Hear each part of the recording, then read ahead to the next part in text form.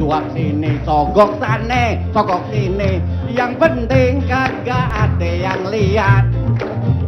Pejabat, pejabat banyak yang bokis. Emang. Nyelepin, nyelepin duit rakyat. Emang. Kesian si Mamat anek Bang Udin. Sampai gede kagak disunat saking miskinnya. Mana deh Bang Nana. Alhamdulillah. Itu datang siapa Mama De? ini Iya bawa ini. siapa Kang? Ini siapa Kang? Ini Baju kan kuning. temanya dangdut. Ya. Saya mau cerita, saya punya teman itu luar biasa. Hmm. Penggemar dangdut, terutama lagu-lagunya Omai Rama. Lagu Omai Rama. Lagu Omai Rama dia punya koleksinya lengkap. Mulai dari kaset-kaset begadang tuh sampai bangun lagi. Eh, tahu nggak? Kenapa dia namanya Epi Tamala? Evi, memang- Evi. Evi, Evi Tamala, ayo. Ya memang orang tuanya memberi nama Tamala mungkin suatu keindahan nama bunga barangkali nggak tahu Oh, saya. bukan, Tamala kan Tasik Malaya. Oh Tamala itu Ya, Tasikmalaya. kalau Tamala Balaja apa? Tamala Balaja mungkin nama pamannya dikusertakan begitu. Salah, salah. Tasik Malaya, Hah? balik lagi Jakarta. ya kalau di Tasik ya ada order itu. Rumahnya kan di Jakarta. Nah, sekarang gitu. begini. Ada macan satu, Ya. Macan dua ditembak satu, tinggal berapa ya? Macan dua ditembak satu. Macan Ya, dua. tinggal satu. Salah, tinggal tiga. Kok tiga tiga? Kan trio macan gue maksudnya. Apa? Apa bunganya? Kalau makan juga mati satu tinggal dua. Tapi namanya tuh apa namanya di Facebook itu terinspirasi oleh Kamelia Malik itu. Apa? Colek, colek Nana gitu Iya, kan kata colek tuh ngambilnya dari colek-colek itu. Oh. Facebook ngambilnya itu dari Kamelia Malik itu. Oh. Iya. Dulu katanya saya mau tanya itu sebetulnya lagunya bukan colak-colek, Apa itu tapi coret-coret. Betul. Coret-coret, malahan nggak mau lagi. Soalnya ada Ada R-nya. Iya. Dan lagu dangdut itu saya sukanya merayat ya. Ya. Sepertinya kan ada lagu eh, Gadis Solo, Mojang Priangan, itu kan nggak jelas salah solonya di mana, Mojang Priangan di mana priangannya. Iya, Tapi kalau lagu dangdut tuh RT 5, RW 3, RT-nya jelas. Jelas. Jelas. Itu. Terus Tapi Apa lagi, apa lagi? Tapi lurahnya siapa? Gua nggak tahu. lurahnya nanti lagu berikutnya barangkali nggak tahu saya. ya. Nah tadi kalau trio macan, Ah. masih macan gue masih macan. Ah. Di hutan dia nyanyi. Ah. Yang joget siapa? Nggak ada yang joget di di, ma- di hutan nggak ada yang joget. Yang joget Tarsan. Tarsan nggak bisa lagi ada undangan Sri Mulat. Iya itu. Saya ini kan punya IO, nah Pak Sis ini kan dekat sama Oma. Roma saya mau ngajak Roma itu show di Amerika, Hmm. di Las Vegas. Saya ingin Oma nyanyi di Las Vegas lagu judi. Jadi nggak diterima. Cocok itu cocok. Ya. Cocok di sana tuh. Memperbaiki keimanan. Iya. Di Las Vegas ya. Lagu judi tapi dinyanyikan di Las Vegas sih cocok itu. Itu. Tapi judinya bukan main Oke. gaplek kan. Daripada kita memperpanjang siapa yang akan berjoget di hutan, Hmm. sebaiknya kita dengarkan dulu gadis cantik ini Ah. yang akan membawakan lagu Menunggumu. Oke. Ditunggu-tunggu, ditunggu, ditunggu-tunggu, ditunggu lagi siapa Ya. kalau bukan Syamila Syamila. menunggu.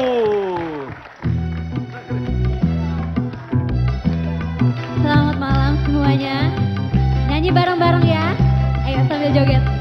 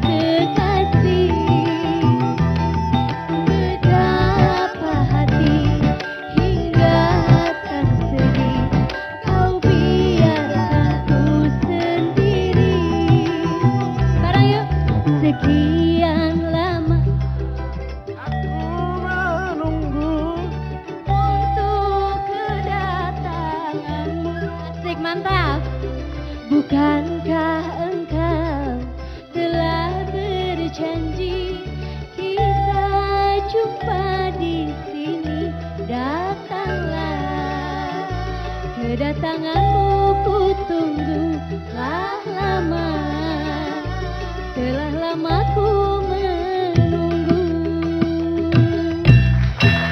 Terima kasih.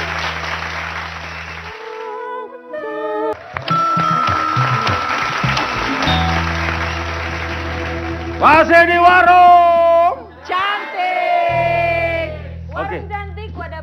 perenungan, canda dan, kritik. kritik. Ngomongnya harus gitu. Ya, saya ada satu pertanyaan lagi buat orang zaman dulu. kagak, kagak. Eh, saya men senior senior meneliti, saya merasakan, saya melihat faktanya bahwa belakangan ini saya lihat nggak ada produksi lagu-lagu. Ini industri ya. Ya. nggak ada produksi lagu-lagu baru dangdut kaset baru atau CD baru yang beredar dulu setiap pasang radio Yang telah meledak, beredar meledak ya. volume 5 Camellia Mali dapatkanlah di toko-toko bangunan terdekat eh, di toko-toko kaset terdekat gitu itu sekarang nggak ada saya sepi sekarang dangdut jadi cuma saya taunya nyanyi di televisi tapi kasetnya nggak ada yang baru kenapa nih Keadaan sih. keadaan kenapa Perekonomian kita, Ah. bangsa kita lagi sulit ya. Orang-orang dangdut itu kebanyakan kan masih orang-orang yang menengah ke bawah yang Ah. butuh pendidikan lebih, kesehatan lebih Makan. dulu, sandang pangan. Nah, beli itu kaset berpengaruh. beli kaset nomor 5 lah ya Ya akhirnya dong. Padahal mereka butuh sebetulnya gitu kan. Hmm. Tapi gimana mau kehiburan, sementara untuk perut, untuk sekolah aja udah Megap-megap. sulit, Hmm. megap-megap. Ya Akhirnya apa? akhirnya apa Yang dibeli bajakan yang murah-murah. bajakan Oh, iya kan? Undang-undang hak cipta undang-undang hak cipta itu munculnya atau dibuat di Indonesia tahun 82. Hmm. Tahun 76 Hmm. saya ini udah operasi bajakan tuh bayangin. Kita ikut semua. Nah, ikut mengoperasi. Pak Haryanto dengan Pak siapa? eh, Hasilnya dari operasi bajakan. Ah, hasilnya. Jelas. aparat. Itu sampai hari ini kita tetap beroperasi bajakan, hasilnya tetap tidak jelas. Tidak jelas. Undang-undang sudah diganti empat kali. Empat kali biasanya tujuh kali baru jelas. Wah, Koran, koran, koran. nah, Ini dia nih. Koran, koran. jadi Seorang penyanyi dangdut mati cukup mengenaskan di dalam studio rekaman gara-gara disuruh produsernya nyanyi lagu dangdut. Eh, nyanyi lagu jazz. Oh. jazz. Saking cintanya sama lagu dangdut, seorang penyanyi dangdut disuruh nyanyi lagu jazz mati. Koran, koran. Koran, koran. Kayaknya agak-agak nggak mungkin deh. Ah, eh. Untuk yang mungkin. Ada seseorang yang memang mencintai dangdut dipaksa oleh seorang produser untuk nyanyi lain. bisa. Itu stres. Bener loh. Itu apa sih? Tapi Jiwa loh. kita Makanya udah pernah tadi. bikin Ah. dangdut yang jazz. Ada Gilang Ramadan di situ, ada Indra. Oh, ada itu kolaborasi kan? Kolaborasi. Kolaborasi. Nah, jadi nggak mati kalau Musik kolaborasi. dangdut bisa Kalau kolaborasi pingsan doang bisa. Enggak. Enggak, senang kalau kolaborasi Ini- itu sih.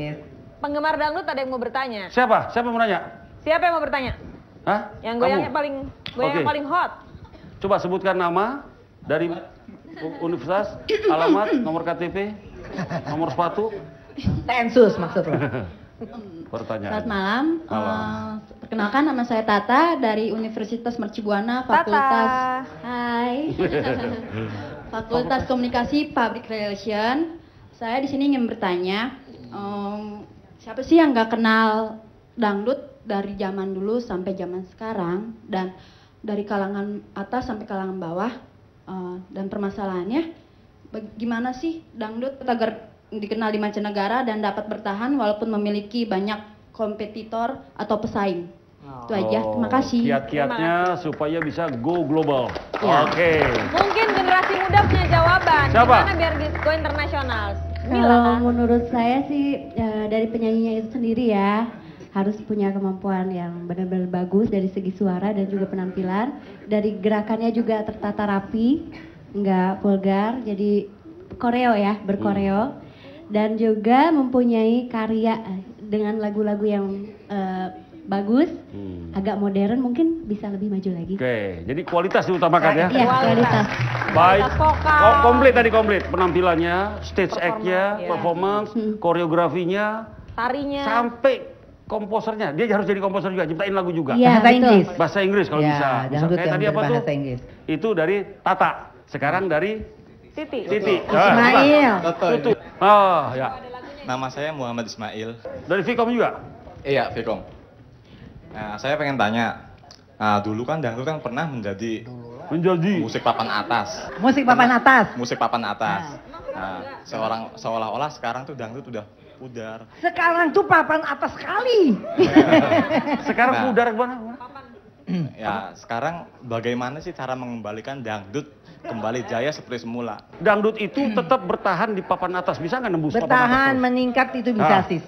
Resepnya? Itu bisa. Resepnya tadi, ya kan? Pelaku eh, eh, seni dangdut profesionalnya bisa tampil dengan karya-karya, Hmm. dengan prestasi, tidak dengan sensasi, Hmm. Ya kan? Sensasi sama prestasi itu jauh bedanya, Ya. ya. Dan yang hadir dengan sensasi itu biasanya sebentar, Bentar. ya kan? Tapi kalau dengan Sebentar prestasi, lihat tuh Roma Irama. Lagi katanya. Nah. ya. Itu artinya Itu sebentar satu. Kedua, dulu dangdut itu di pertelevisian itu pernah jadi bunga-bunga panggung. Semua broadcast punya program dangdut, tapi akhirnya jadi overexpose, ya, berlebihan. Jadi kita memang harus menakar kapan datang dan sem- semakin datang semakin bagus bukan semakin mundur. Nah insya Allah sekarang dengan lihat nih kan mahasiswa mahasiswi semua memberikan kritik-kritik yang sehat, ya. kita get up again ya, kita sema- semangat lagi mengembalikan dangdut ke citra yang terbaik. Ya. Terakhir Aksai. Aksai harapan eh, Bang Aksai untuk dangdut ke depan, terutama bagaimana perhatian pemerintah terhadap musik dangdut Indonesia. Ya yang pasti itulah dangdut eh, lebih eh, diperhatikan lagi eh, se- untuk s- karena ini seni budaya In- Indonesia jadi lebih disemangatkan lagi lah untuk eh, musik dangdutnya. Itu Ah, yang pasti itulah. Cepat Dangdut. Jadi bingung gue cepet. Oke. Sekarang punya punya harapan nggak pemerintah? Untuk Harapan saya, kepada pemerintah. Pembajakannya dong tolong diberantas. Berantas Iya. pembajakan Berantas pembajakan. Oh. Oke. Mia, coba closing statement. Apa yang ada di benak Mia? Dangdut ke depan gimana? Dangdut itu musik Indonesia, musik kita. Dangdut itu sudah membumi, berakar. Ya, kita jaga lahan ini bersama-sama.